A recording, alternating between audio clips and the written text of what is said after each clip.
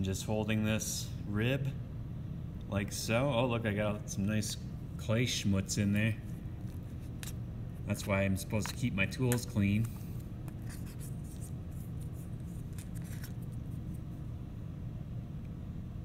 Better pick those out, because otherwise, eh,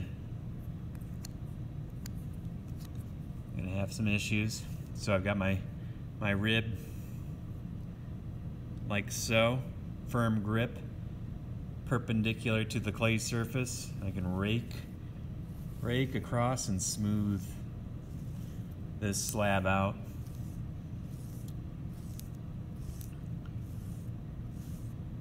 And I'm getting a lot of nice excess clay here. Just put that in my moist clay bag. Give it a quick spritz of water maybe.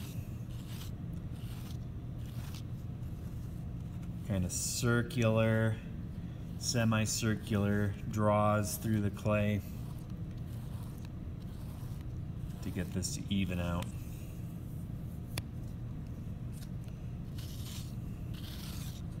And this is going to thin your slab as well, so keep that in mind. You want to err on the side of thickness, a little bit thicker if you're going to smooth your slab out. Keep this nice and taut. Got four, four fingers on the outside, my thumb on the middle, middle on the inside, curved, straight up and down.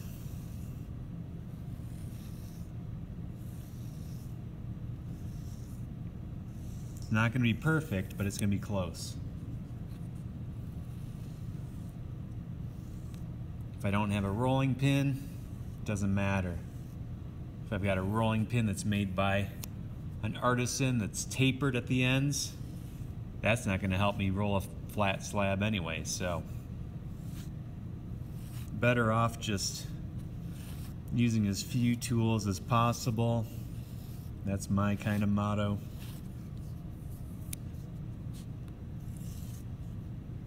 make it work.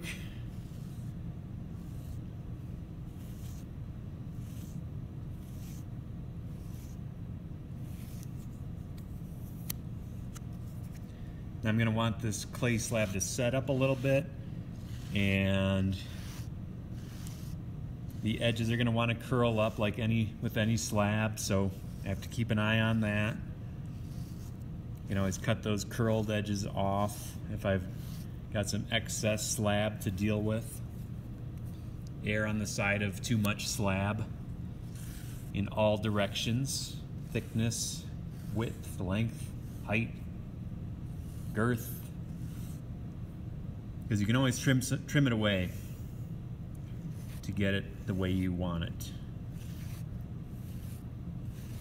And this can be just a fun exercise, smoothing this clay. You can really get into it. I've seen people do this for days upon end and achieve nirvana on occasion.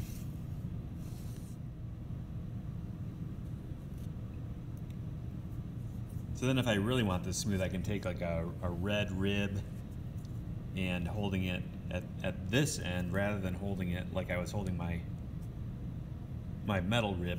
I'm gonna hold it at the end and kind of glide, just glide across. I'm not trying to take up so much clay this time. I'm trying to compress that clay back down into the slab. Now your metal rib will work fine as well, just not quite as refined a tool as this smooth red rib. Any rib you use, make sure to keep the flat side down. Take my finger and work out some of those little imperfections. I always want to come in at an angle like this, not like this, not gouging this way. Unless I want to make a texture, I can gouge like that nice and loose in my hand, but with, with, with some downward pressure so it is bending.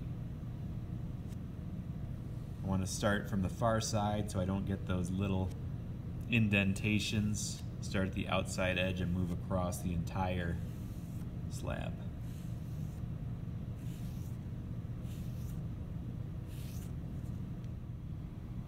Now I can just lift gradually from the edges.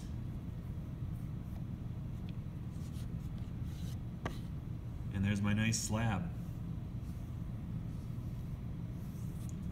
Slab roller couldn't have done it any better, I don't think.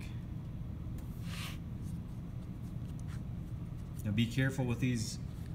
Clay has memory. It's a kind of a funny thing. There's no brain in clay, but yet it has a memory somehow. So if I mess around with the slab too much, if I bend it this way and then flip it and bend it again a different way, it's not going to like that. Um, I won't.